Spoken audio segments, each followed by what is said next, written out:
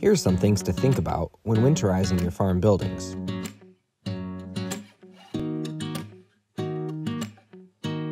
Prepare your farm outbuildings.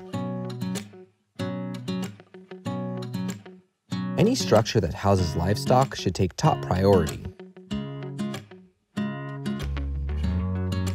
Get rid of old or rusty equipment and clean out old hay or bedding that could compromise the air quality. You'll want to discourage unwanted visitors.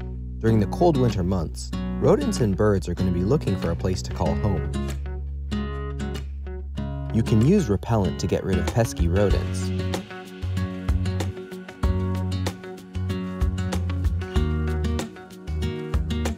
Check for roof leaks and replace any damaged or frayed shingles. And don't forget to clean your gutters, they'll fill up fast. Offer livestock a heated water supply and consider using heated troughs in outside areas where the water could ice over.